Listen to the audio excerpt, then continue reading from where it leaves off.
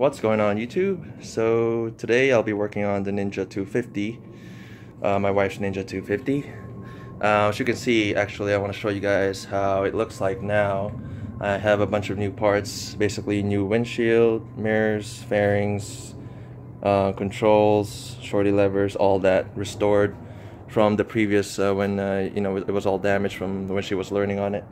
Um, I put a preliminary kind of a temporary uh, frame sliders there, but uh, she hasn't ridden it ever since the um, the new parts came in because we're we're waiting for this. So this is the the main focus of this video is the, the Impaktech um, crash bars. It's basically a stunt cage um, that will go on replacing this because we want to save all these new parts that we put in here. It's there's still going to be some parts that are going to be damaged, like um, you know this will still maybe hit this part.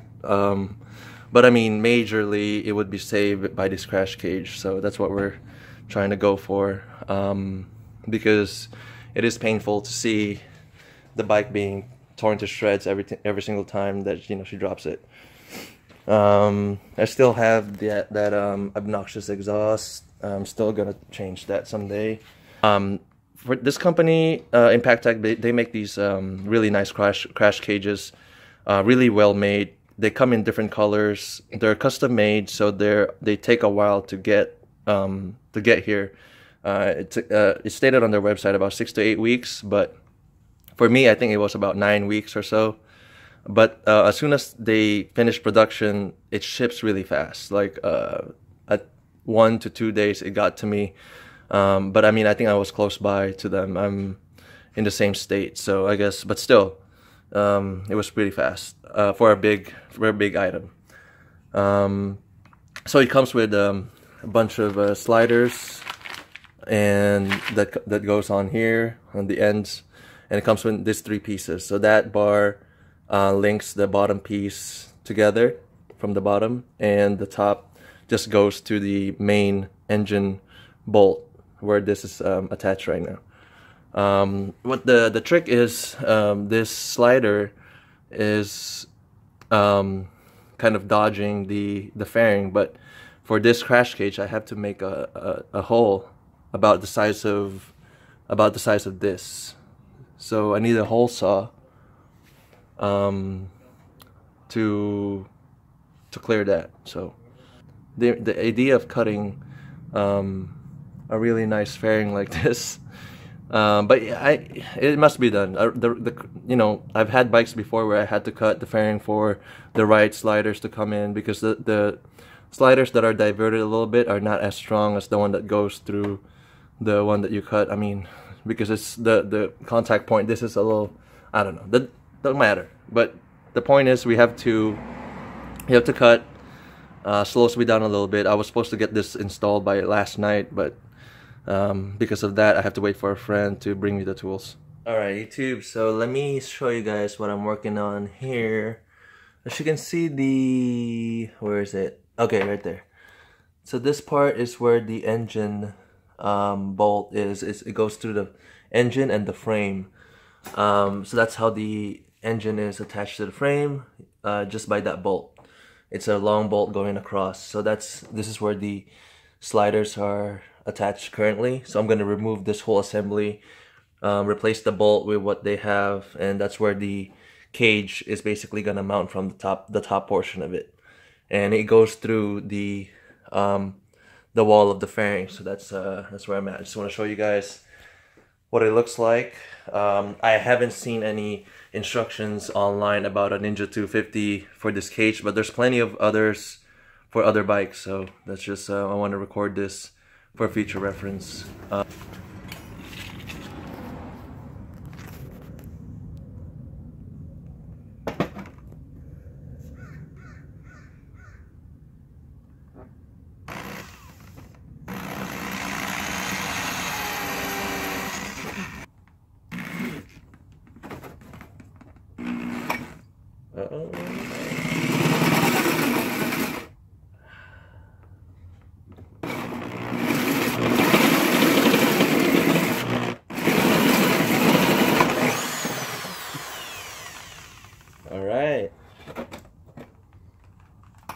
Came out a lot cleaner than I actually was expecting.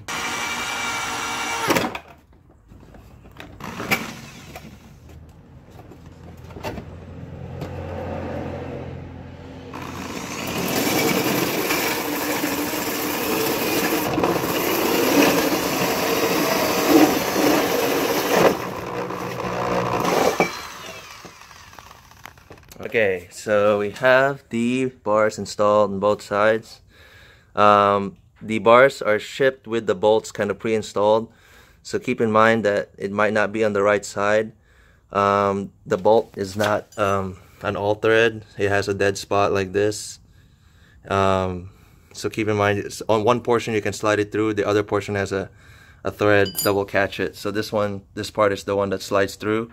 And the other sides will catch it. It has a thread on the end. So just keep that in mind when you're installing this. So now we're um, just gonna bolt everything up and then I'll show you guys the final product. What's going on YouTube? So we are back. So I finally put the stuff back on together. Um, here's what it looks like. So I'll probably clean up the hole there a little bit more. Maybe put um, some kind of grommet or something like that, rubber seal, or maybe just paint it black so the white portion doesn't kind of stick out so you can you know your mileage may vary. It's up to you how you how you how nice you want it to look. I'm just kind of in a hurry because i'm really excited to ride it. Um, so right now that's what it looks like. Mounts to this part here. Um, yeah it's pretty secure. It's not gonna move. I'll show you the other side. Yeah really clean. Here's a view from afar. That's what it looks like so you you might run into some clearance issue with your leg here but really I'm like 6'2 and it's fine for me. But depends on the person I guess. I have rear sets so the stock the stock um, uh, foot pegs would be a little bit more forward so I think it might be a problem on, in that case. But since I have rear sets mine's pushed um, far back like that and so my, my feet is um, not in the way of this. So there we go. So also Impaktech is nice enough to include um, two sets of uh, sliders that go on this part here. See that? And there's a hole in this portion of the the bar where you tap in a screw that they provide so to lock it in place so really nice that they actually include two sets. So once you mess this up you have another set. So and you can keep ordering just uh, replacement um, replacement sliders like this.